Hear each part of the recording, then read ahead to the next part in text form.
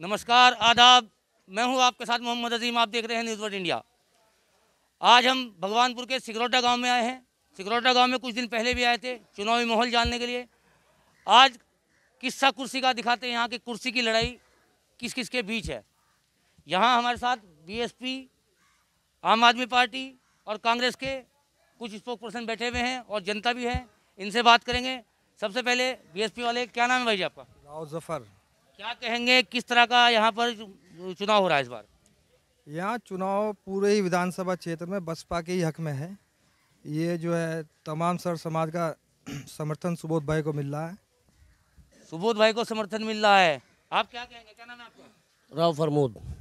जी क्या कहेंगे? हाँ जी हमारा तो यही कहना है कि यहाँ जो है सर्व समाज का समर्थन जो है सुबोध भाई को है। आपका क्या नाम है? साजिब राणा ब्लॉक अध्यक्ष कांग्रेस पार्टी। क्या कहेंगे साजेब भाई? किस किसकी लहर चल रही है?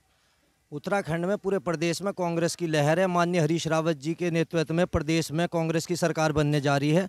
और आप देखिए बहुजन समाज पार्टी का सूबड़ा उत्तर प्रदेश में साफ़ है। यहाँ तो कुछ है ही नहीं। ज़ीरो है ये। कांग्रेस की सरकार बन रही है भाई। कांग्रेस की सरकार बन रही है। भगवानपुर में विधायक हाँ ममता राकेश। ममता राकेश जी। आपका क्या नाम है? मंसूर मलिक। क्या कहेंगे? किस किसे विधायक बना रहे हैं?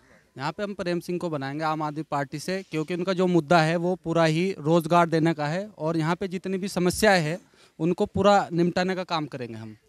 आम आदमी पार्टी।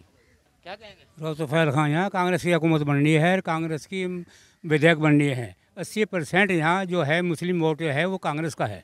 ये जो स्पोक पर्सन बैठे हुए हैं अपने अपने दलों की बात कर रहे हैं किसी का कहना है कि सुबोध राकेश यहाँ से विधायक बनेंगे? किसी का कहना है कि ममता राकेश बनेगी? आम आदमी पार्टी के बोल रहे हैं कि आम आदमी पार्टी के विधायक बनेंगे यहाँ से। जनता साथ हमारे जनता से बात करेंगे कि इनके मुद्दे क्या हैं। विधायक जो हैं सात साल से ममता राकेश विधायक है। वो यहाँ से इनके जो मुद्दे हैं इनके विकास कार्यों में कितने अभी तक खरी उतरी हैं ये बात करेंगे। क्या नाम है आपका? मोहम्मद अजीम। अजीम।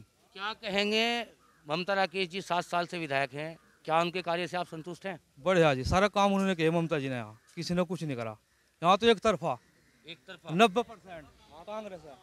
देखिए मैं कहना चाहता हूँ आपसे कि उत्तराखंड के इतिहास में 20 साल से उत्तराखंड का इतिहास है और इसमें जो है उत्तराखंड की जनता ने बारी बारी से भाजपा कांग्रेस यानी बी और सी को बारी बारी से मौका दिया। और आपने जिस तरीके से देखा कि सरकार तो बीजेपी की थी लेकिन मंत्रिमंडल उसके अंदर कांग्रेस का था। अब 21 साल बाद उत्तराखंड के अंदर ए यानी कि आम आदमी पार्टी ने दस्तक दी है और यहाँ पर हमारी सरकार बनने जा रही है। आम आदमी पार्टी ने दस्तक दी है इनकी सरकार बनने जा रही है। क्या कहेंगे आप? मैं ये कहना चाहूँगा ये जो अभी आप देख रहे हैं मुस्लिम समाज पे जो है कांग्रेस का इलेक्शन है।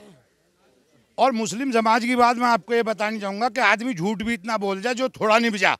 अभी आमने सामने दोनों साइड में जो है इधर कांग्रेस इधर सुबोध राकेश के यानी कि बस बीएसपी के सपोर्टर खड़े हैं।